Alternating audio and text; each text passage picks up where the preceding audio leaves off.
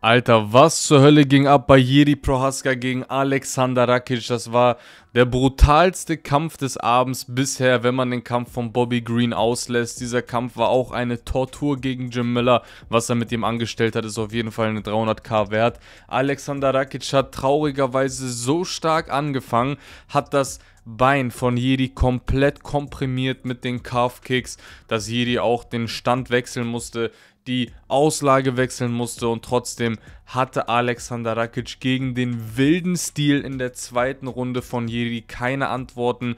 Es sah wirklich so aus, als ob Jiri jeden Punch, den Rakic auch perfekt getroffen hat, einfach gefressen hat, mit Händen nach unten, nach vorne gestürmt ist. Und Rakic hat so viele gute Treffer gelandet, trotzdem hat es nicht gereicht.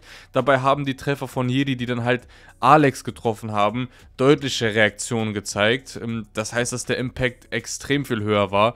Und das hat sich dann auch bemerkbar bemerkbar gemacht. Alexander hat versucht, sich noch irgendwie durchzukämpfen, irgendwie klarzukommen, aber diese Schläge von Jedi waren einfach zu brutal, waren zu hart, diese verrückten, wilden Kombinationen. Und ja, letztendlich war es dann der Fall, dass der Referee Herb Dean den Kampf abgebrochen hat, nachdem Alex wirklich noch versucht hat, sich irgendwie aufzuraffen, irgendwie aufzukämpfen. Das war wirklich brutal mit anzusehen.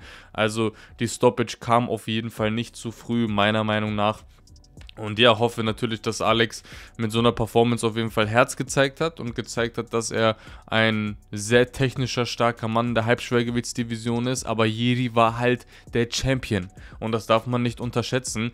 Gegen einen Alex Pereira, der mit seiner Power auch noch so präzise ist, sieht das Ganze halt bei Jiris Deckung ein bisschen anders aus. Alex hat alles versucht, hat leider nicht gereicht. Auf jeden Fall hat Jiri im Interview im Nachgang gesagt, dass er die Champions bzw. den Gewinner des heutigen Main Events von Alex Und Jamal Hill kämpfen will. Er will vielleicht das Rematch gegen Alex haben oder wenn natürlich Hill gewinnen sollte, will er letztendlich Hill als Gegner haben. Hat er sich auf jeden Fall mit dieser Performance von Rakic verdient, war auf jeden Fall geisteskrank, verrückt mit anzusehen.